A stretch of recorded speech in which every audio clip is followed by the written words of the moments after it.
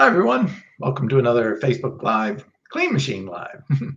My name is Geoff Palmer. I'm your host, and I am the CEO and founder of Clean Machine, an all natural, plant based fitness nutrition company. So, this video is for informational and educational purposes only and is not intended to diagnose, treat, cure, or prevent any disease. So we're going to be looking at a really cool new study. Sorry about last week. Uh, we recorded uh, the video, and of course, as many of some of you found out that um, uh, the video didn't actually have any sound to it. So I'm redoing that video so you don't miss out anything. So hope you're hearing it live. Um, if you can hear it, just give me a thumbs up in the comment box make sure I don't uh, uh, or a yes, or I can hear you, or something like that uh, in the comment section so I can see that and uh, we can move on forward. Okay, so this one is called uh, Early Hominid Human Brain Growth. Okay. Uh, recent oral microbiome research reveals the true paleo diet. So this is interesting because you know, when people find out I'm vegan, uh, the first defenses that they put up is, well, our ancestors ate meat.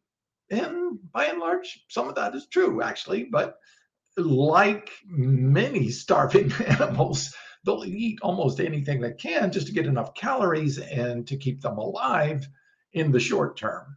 Now, long term, they're going to be preferably uh, inclined to eat things that make them feel better, uh, promote their health, promote longevity, uh, because all life wants to keep living. That's that's its foundational goal. And we eat to survive, but also to thrive, because the most thriving of the population generally passes on their genetics to the next generation. So when you say, but our ancestors eat meat, the bigger question is, yes, but how much? Now, that question has been unanswered because we don't have any of these ancestors still around, really. Uh, ancient humans have evolved and changed over time, and all of the rest of those people that lived a thousand, ten thousand, a hundred thousand years ago are dead. So, how can we find out what it was that they actually ate? Well, the first clue we got about about what ancient uh, human beings, early human beings, um, uh, in a pre-industrial, pre-agricultural field came from this one. I'm going to put it up on the screen, show it right here for you. So it's coprolites, copro meaning poop, and uh, lights meaning fossilized. So this is what we were looking at. they look at fossilized human poop. Yeah, you can actually find these little balls of poop that got fossilized. so they are records of what those pre uh, agricultural uh, human beings, modern Homo sapiens sapiens, even back then, were eating. Okay, so what was in that poop? well, let's take a look. So the Coprolite research, fossilized human poop, reveals that prehistoric populations relied heavily on plants in their diet for over 10,000 years. Now, how do we know this? Well, we know this because of this. Oh, it's kind of cut off a little bit, but I'll read it out to you. So that they took fossilized poop from all these different continents. In Africa, they found the fossilized poop had about 120 grams of fiber per day on estimate. In North America, 150 to 225 grams of fiber per day. In South America, 100 grams plus. Australia, over 100 grams. Now, modern Americans are eating 10 to 15 grams of fiber a day.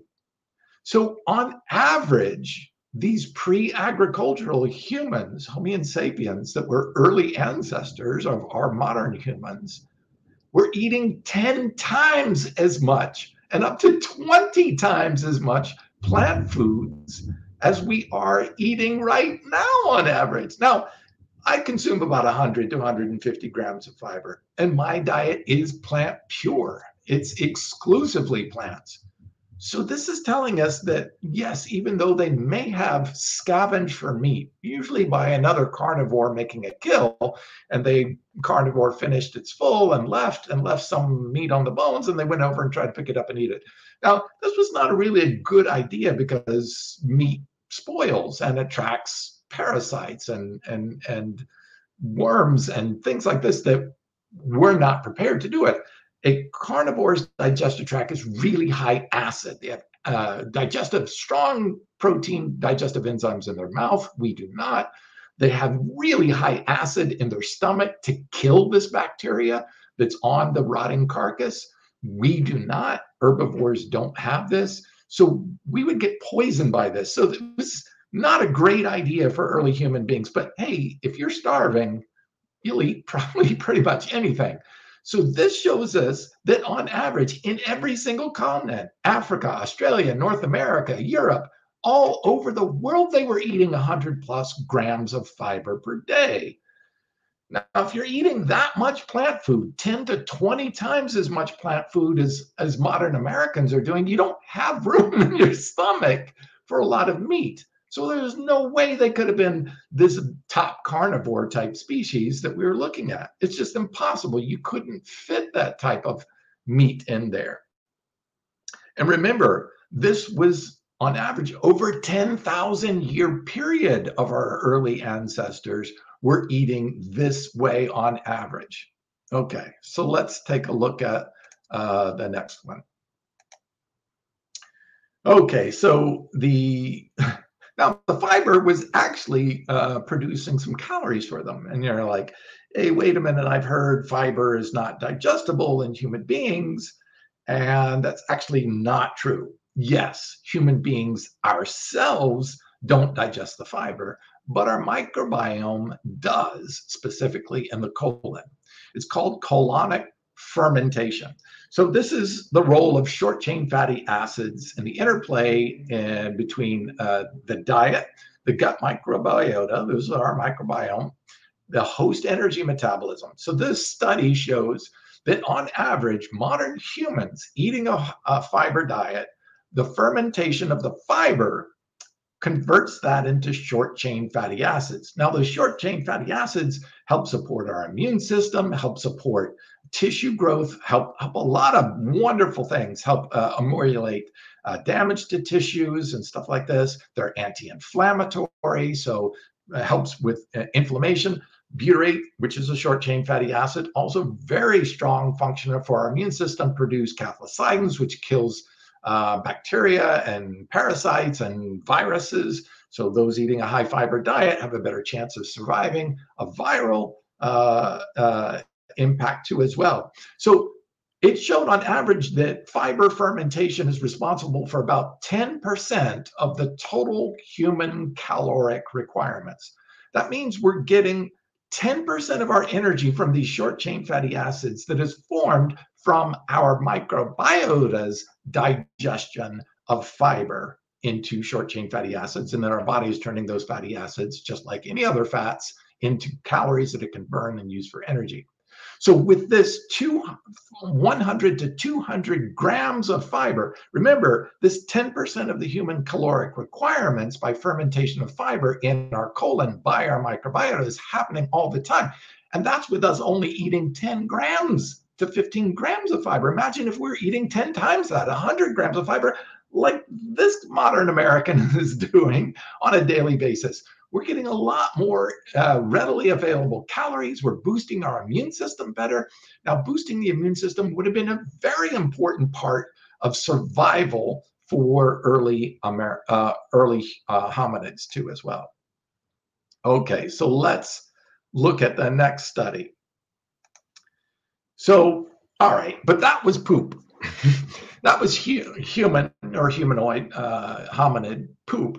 And that include Neanderthals, which are not direct descendants of humans, and uh, the early prehistoric modern man, Homo sapiens sapiens. Okay, so this study came out because this was really unique. The, the other previous studies were looking at fossilized human poop, which is what we were pooping out of our body. This study actually found a way to find out what early humans were actually putting in their mouth. Now, this is really cool. This study right here, it's called the Evolution and Changing Ecology of the African Hominid Oral Microbiome. Now, how could they find out what was the oral microbiome, the bacteria or microbiome bacteria that was going on in our mouth? How could they see that on a fossil? Well, interestingly enough, when those bacteria are prominent in our mouth and they die, they actually get picked up and stuck in plaque. Yes, early human beings, even 100,000 years ago, the Neanderthals that were there, living 100,000 years ago, got these bacteria stuck in the plaque. And now DNA synthesis and analysis can show that by scraping off the plaque off of these jaw bones that they find of early hominids, including Homo sapiens sapiens, early Cro-Magnon man, early Homo sapiens versus basically modern man in very early prehistoric times, and Neanderthals both had this plaque of oral bacteria in there. So we know what they were eating by the, uh, the type of bacteria that was in the mouth. So if you eat a high protein diet, you're going to have protein eating bacteria in your mouth. And that would have been the dominant DNA registered in the plaque of their teeth. How fascinating. But what they found was this. This is the actual Harvard publication that wrote about this story. It's a great read, short read. So I strongly suggest you guys read it because it's fascinating. So the findings on Neanderthal oral microbiomes offer new clues on evolution and health. Okay, so why is this so important? One, I know it says Neanderthals, don't get alarmed by that. They actually compared Neanderthals in this case to the oral microbiomes of modern humans, and they were almost identical. All right, so they both they found the basically the both thing in Homo sapiens sapiens as well as as the Neanderthal species, all about 100,000 years ago. So 100,000 years ago, true paleo humans, what were they eating? What type of bacteria did they have? They had starch eating bacteria predominantly. So let's go ahead and put this up on the screen. So they wrote the benefits of bringing the foods into their diet likely helped pave the way for the expansion of the human brain because the glucose in starch is the brain's main fuel source. Now, this is so important because the evolution, even, even modern humans back then, 10, 50, 100,000 years ago, those humans had smaller brains. How did our brains get big? Well, our brain takes up a lot of glucose. Actually, about 20 to 25% of all of the glucose that you consume through all the foods, fats, carbs, fiber, all of that glucose, 25%, one fourth of all the glucose calories that you eat go to feed your brain.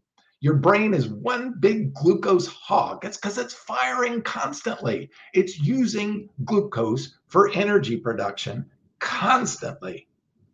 Even when you're sleeping, you're dreaming. So you're using your brain. Your brain is functioning to run your breath and your heart rate all the time. So it is constantly firing. So it uses more glucose than any other tissue in the body um, by space, by weight. Okay. So they wrote, the Harvard study wrote, we think we're seeing evidence of really ancient behavior that might have been part of encephalization. This is the enlargement or the growth of the brain to have greater capacity. Because you can't have a bigger brain if you're not giving it enough food, enough glucose. So the Encephalization is the growth of the human brain, Harvard professor Christina uh, Warinner, PhD, um, proclaimed. So this is how we got to the big brains that we have. And uh, we may or may not be using very well, but modern brains got to be this big size. Well, this is really cool. But why starch? Why did they have so much starch? Because they were consuming so much starch. Why starch? All right. Now, this is where it gets interesting because starch is the highest in glucose. there's about 300 to 1,000 units of glucose in starch. So when you're consuming starch, you're getting compact, concentrated forms of it that the body can use as it's needed, peel it off and use it. So starch in tubers, in nuts, in grains, in beans, in starchy vegetables, these starches were the best sources of uh, to feed the brain all of that glucose that it needs to allow it to grow, to get bigger in size. Because you can't have a bigger machinery if you don't have a fuel source in a bountiful way. Now, it was interesting that they said, let's see, researchers said the findings make sense because for a hunter gatherer, actually, probably a gatherer hunter, societies around the world, starch rich foods, roots, tubers like potatoes and herbs, as well as nuts and seeds, for example, are important and reliable nutrition sources. In fact, starch currently makes up 60% of all the calories humans eat worldwide. We're still basically starchivores. We are still dominantly starch eating humans. That's so we can feed these big old brains that we got. That's just amazing. And what it says is that, okay, we're talking about Neanderthals. The new data makes very sense to me, says the researcher, reinforcing the newer view about Neanderthals that their diets were more Homo sapien like, more modern human like than once thought, meaning a starch rich and cooked diet. So even Neanderthals 100 years ago were cooking mostly barley and roots and tubers and starchy vegetables to get the nutrition that they were. So now we know, based on this oral microbiome, right? Fossilized in their jawbones, in the plaque on their teeth, we know exactly what they were putting in their mouth, mostly starches. This is what allowed this evolution of our increased size of brain and what allows it uh, to go on continuously. Um, uh, this is a, an interesting comment from the researchers. The findings also push back on the idea that Neanderthals were top carnivores, given that the brain requires glucose as a nutrient source. And catch this meat alone is not a sufficient source. Uh, meat doesn't basically have hardly any glucose in it at all, unless you're getting a little bit of the glucose that is stored as glycogen in the tissues. So, not enough glucose to supply a brain this size. Now, what makes that really unique is this study on glucose. So, this study is called Glucose Requirements for the Development uh, developing human brain. The human brain is highly reliant on glucose for fuel, fuel and growth.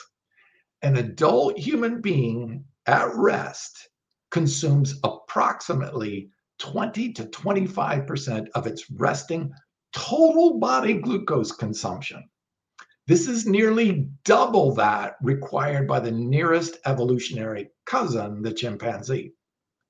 This brain is soaking up and using two times as much glucose as our closest relative in the animal kingdom, the chimpanzee, the bonobo chimp.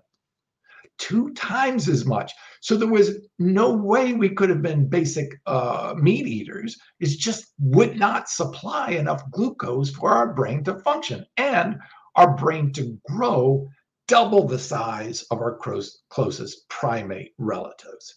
So this is huge. so how much glucose are we actually using? Well, the average male brain is different from male to female. Brain, the male brain uses a little bit more, and I'm not going to get into that, but the male brain uses about 80 milligrams of glucose per minute for energy and growth. And you know, when I talk hear people talk about a paleo diet limiting carbohydrates in their diet, I'm like, that's the total opposite of what the paleo diet really was. And it's basically starving your brain of what it needs most, glucose. So 80 milligrams of glucose per minute is what your brain is soaking up. A whopping 115,000 milligrams of glucose per day. That is phenomenal. In comparison, the brain uses about three milligrams of DHA per day. Now, everybody's talking about, oh, you need, you know, uh, omega 3 DHA for your brain to, to, survive and for your brain health and to have a healthy brain. Bullocks. Oh my God, it's garbage. Our body stores up to 50 grams of DHA and we only use three little milligrams. That's 50,000 milligrams of DHA stored in the adult human body at any given time, and we use three of them. 50,000 stored, we use three per day for our brain. And we think, you know, got to have fish oil to feed the brain. No, you got to have glucose, 115,000 milligrams of glucose three milligrams of DHA. Which do you think is the most important part for human brain development, human brain function? It's not the omega 3s, it's the glucose, it's the starches, it's the carbohydrates. All right. So some people say, but oh, we shouldn't be eating sugar. You shouldn't be eating white sugar. All right. So let's let's take a look at that. All right. So this is a picture of how all of the macronutrients that we consume every day are made. So the plant takes sunlight and forms glucose out of carbon dioxide in the air and water that it absorbs from the soil, along with other nutrients it absorbs from the soil, and nitrogen from the air or the soil. Okay, so there are four basic molecules that build everything carbon, hydrogen, oxygen, and then nitrogen for proteins. So everything starts out as a glucose molecule in plants. That's why you see that big circle in the middle of this leaf as glucose. Glucose makes cellulose or fiber. Glucose then turns and adds nitrogen and turns into amino acids and protein. Glucose forms longer chains of glucose to make starches and fats. And glucose makes simpler forms like uh, simple and complex carbohydrates. It makes vitamins and minerals. Carb, CHO, carbon, hydrogen, and oxygen are the glucose molecule. That is what it is. And just adding bigger and bigger chains of this makes it go from carbs to fats to sugars to starches to even amino acids and proteins. So everything is based off of glucose fat, sugar, salt, not salt, sorry, fat, starches, carbohydrates, proteins, and fiber all start out as glucose. And when we consume them, we can break them all back down into glucose. Our body can take fats, carbohydrates, and proteins, and even fibers, and break them down into simpler and simpler forms and eventually into glucose. So all things start out in the plant kingdom as glucose, and all things can be broken down in the human body back into glucose. Yes, even proteins can be broken down into glucose. Everything starts out as glucose, everything can be broken down in glucose. Why is that? Because the human brain, the brain function is so dependent on glucose. We want to make sure that we have adapted to the most abundant original source of nutrition, which is glucose. Glucose makes everything almost in the nutritional aspects. And it all starts out. Remember, animals don't make nutrition, they consume nutrition. Animals actually just eat the nutrients or bring them into our body. Plants are producers. They actually create all the vitamins, create all the um, macronutrients, fiber, carbs, fat, protein. Animals don't make any of those things. Uh, they don't make fiber. Uh, they don't make proteins, essential amino acids. You can take apart proteins by eating them and put them back together and form new proteins. Yes, but that's just like playing blocks as a child. The child didn't create the blocks. The plants create the amino acids, the essential amino acids that are consumed by this. So, this is the process. Glucose is the thing. Now, scientists and food experts have figured this out and just said, well, why don't we just take the glucose out of the plant and make it simple glucose, and it'll fire up our brain. Well, this much is true, but it'll also fire up inflammation. That's why white sugar is not good for you. I'm not suggesting everybody go out and eat a bunch of isolated glucose. No, nature has it nicely packaged with fiber, with water, with polyphenols that regulate how that glucose gets absorbed and utilized to maintain a healthy blood glu- glucose level in the sugar. Eat them in the whole foods that's where the the plants have made these and packaged them with antioxidants and all these things. The polyphenols actually help us metabolize and utilize these in the proper way. Once you remove that glucose it doesn't have all of those different extra effects to it. The fiber to slow the digestion the uh, polyphenols and phytonutrients in there that actually help regulate the control of, of the sugar. So that's what the original uh, paleo diet was. So if you say you're going on a paleo diet, start munching some fiber, folks, because they were eating a lot more plants than modern Americans today. The average modern American is eating 10 to 15 grams of fiber a day, when our ancient ancestors, for over 10,000 years, were eating a high complex carbohydrate and starch rich diet. That is what allowed our human brains to get to the size and intelligence level it is now. And that's how we can continue to feed our brain exactly what it needs. I hope you've enjoyed this as much as I. It's great to have the research that comes through that really tells us.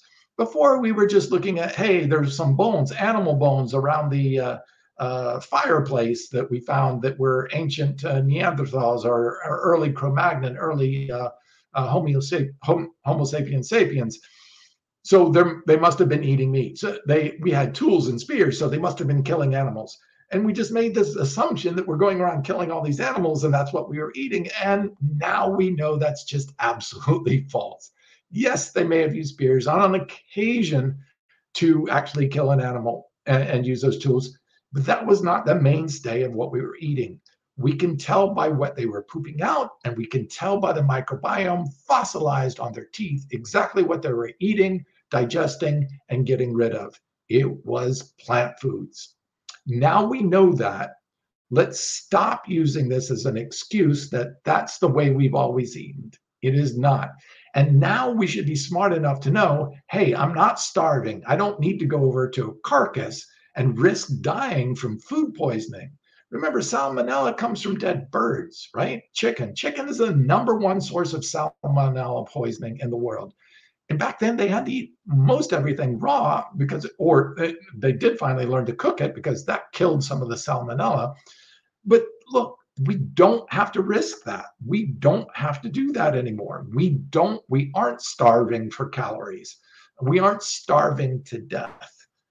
So we have the choice now to walk into a grocery store and pick something that doesn't harm our body, doesn't harm the animals, and doesn't harm the environment. And right now, it is more important for us with nearly closing in on 10 billion people. We must change to a more civil diet, a more enlightened diet, much more like our ancestors ate. I hope you enjoyed this. I hope you can turn in uh, on other weeks. I'll continue to bring the information that blows the doors off all these false ideas, false assumptions. Look, there's nothing wrong with getting it wrong.